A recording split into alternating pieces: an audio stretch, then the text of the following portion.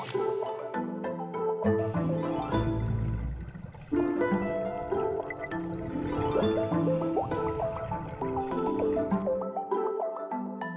think the sea can, will, and it has already proven that marine organisms can produce substances that cure human diseases. So that's a fact indeed.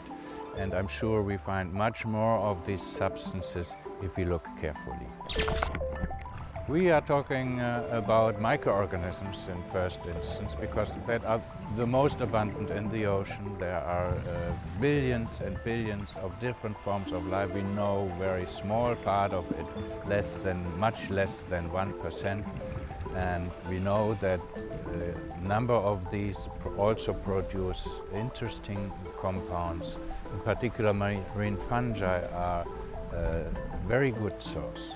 They produce, each fungus produces a whole series of uh, compounds and we just have to find out those that are new and that are interesting for our purposes. Some substances have been isolated that have been demonstrated in clinical trials already to be active against cancer and the first ones are on the market. But there are certainly more to come if we look intensively into marine forms of life.